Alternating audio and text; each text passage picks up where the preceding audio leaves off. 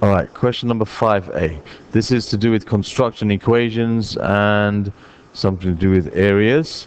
Okay, so we've got to construct an equation, okay, given this information. All right, so we have to link this information together in such a way that we can make an equation. And the link is obviously here the area. It says the area of the shape ABCDEF is 24 square centimeters. Okay, so the area of this whole shape is 24 square centimeters. All lengths 9 centimeters.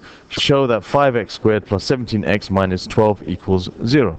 So the way to do this question is to basically you have here what's called a compound shape. It's a shape where we don't know the area of it. Now there's many different ways of finding the area of this.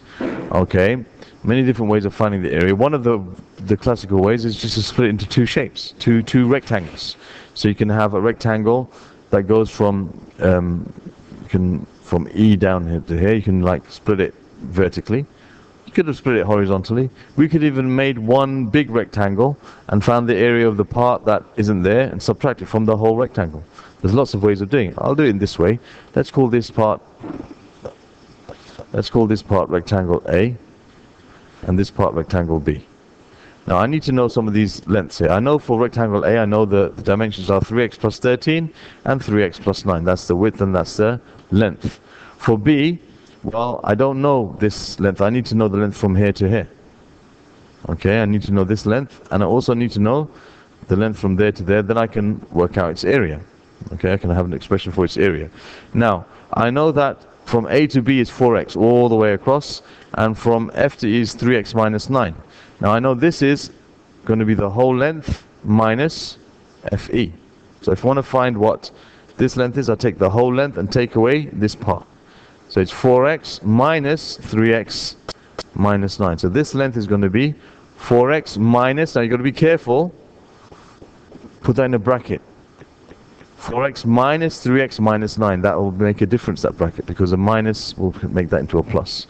So 4x minus 3x is 1x minus 9 minus minus 9 gives you plus 9 so this length is x plus 9 okay and here you've got BC now the whole length all the way from there to the top is 3x plus 13 that's 3x plus 13 we need this length over here now this length over here is going to be the 2x, which is from there to there, subtracted from 3x plus 13. So it's going to be 3x plus 13, and then take away 2x. Here, because there's only one term, you don't need to have a bracket there. So 3x minus 2x is equal to x. You have x plus 13. So I have now two rectangles. Okay, I have rectangle A, rectangle A, whose dimensions are, you've got 3x plus 13 and um, 3x minus 9. That's rectangle A. I have rectangle B. Rectangle B. Okay, whose dimensions are, you've got x plus 9. And the other dimension here is x plus 13. x plus 13. Let me just make that a bit neater x plus 13. Okay, so now if we find the area of each of these rectangles and add them together, I will get the area of the whole shape. So I have 3x plus 13 times 3x minus 9. Okay, plus I have x plus 13 times x plus 9. And I know the total area is equal to 24 square centimeters. So I know that when I add these two together, I'm going to get 24. Now hopefully, if we expand this correctly, we're going to end up with the same expression that we see here. Okay, same equation we see here. So you've got 3x times 2x, which is 9x squared. And we've got 3x times minus 9, which is minus 27x. We've got 13 eh, times 3x, which is going to be plus 39x and we got 13 times 9 That's going to be 27 plus 90, which should be 117, minus 117, plus, and you got x squared, plus 9x, plus 13x,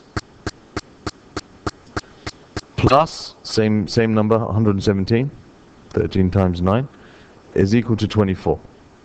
Okay, so now let's try to tidy this up. You've got 9x squared plus 1x squared, which is 10x squared. Okay, so we dealt with the x squared. I'm just, just get them out of the way. Then you've got minus 27x plus 39x plus 9x plus 13x. So 37, 39 minus 27 is 12. 12 plus 13 is 25. 25 plus 9 is 34. So we have plus 34x. So we got rid of all the x's. And then you got minus 117 plus 117, which is 0. Um, so you got plus 0 equals 24. Now we want to have everything on one side. It says equals 0. So you got 10x squared plus 34x minus 24 equals 0. And we can see that each of these terms are divisible by 2. So you're going to have 10 divided by 2 is 5, so you got 5x squared. 34 divided by 2 is 17, plus 17x. And 24 divided by 2 is 12. And there we have it. We have now answered part 1 of this question. Okay, I'm going to just stop the video and I'll do the next one on part 2.